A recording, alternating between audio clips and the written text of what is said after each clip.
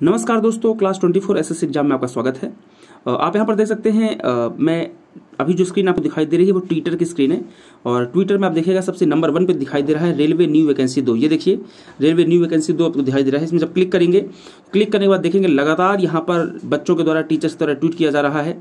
Non stop tweet किए जा रहे हैं। आप देख सकते हैं यहाँ पर विशाल कुमार का ट्वीट है गौरव कुमार डांगी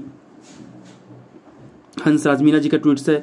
लगातार बच्चों के द्वारा ट्वीट्स किया जा रहा है। नॉन जो जितने फैकल्टीज है टीचर्स आप देख सकते हैं, यहाँ पर अभिनय का ट्वीट दिखाई दे रहा है। राज गौतम का ट्वीट लगातार बच्चों की द्वारा ट्वीट किया जा रहा है। लाखों की संख्या में ट्वीट किया गया है। अभी तक जो टोटल ट्वीट किया गया है, वो ट्वीट्स है आपका तीन लाख बानवे हज़ार। तो आप भी जाइए और जाने के बाद में आप एक बार ट्वीट कीजिए आपका ट्विटर में। रेलवे न्यू वैकेंसी दो, ध्यान रखिएगा, जो हैशटैग है, रेलवे न्यू वैकेंसी दो, उसी को ही ट्वीट करना है। कुछ लोग यहाँ पर वैकेंसी या बाकी चीज़ गलत कर रहे हैं तो जरा ध्यान रखिएगा, ये गलती ना हो। रेलवे न्यू वैकेंसी दो का ट्वीट लगातार हो रहा है तो आप भी बिल्कुल जाइए और बेझिझक आप अपने हक की जो आवाज़ है, उसको बुलंद कीजिए। डरना नहीं है, परेशान नहीं होना है, आपका हक है, आप पढ़ाई करके नौकरी चाहते हैं, मेहनत करके नौकरी चाहते हैं, इसके लिए आप आराम से यहाँ पर ट्वीट करेंगे, परेशान नहीं होंगे।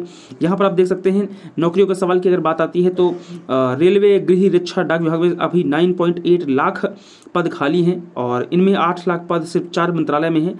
आप देख सकते हैं, अगर आप रेलवे की बात करते हैं तो ऊपर दिखाई दे रहा है दो लाख तिरानवे हज़ार पोस्ट खाली हैं। रक्षा में दो लाख चौंसठ हज़ार पोस्ट खाली हैं नॉन स्टॉप पोस्ट खाली हैं।